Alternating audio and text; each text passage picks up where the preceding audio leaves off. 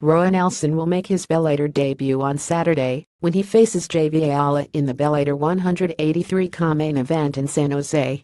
In this new interview with the Las Vegas Review-Journal, Nelson explains why he's excited about competing under the Bellator banner, where he feels title shots can be earned and fighters don't have to deal with all the politics and bull. Big Country also gives his thoughts on Ayala as an opponent. It became smoke and mirrors over there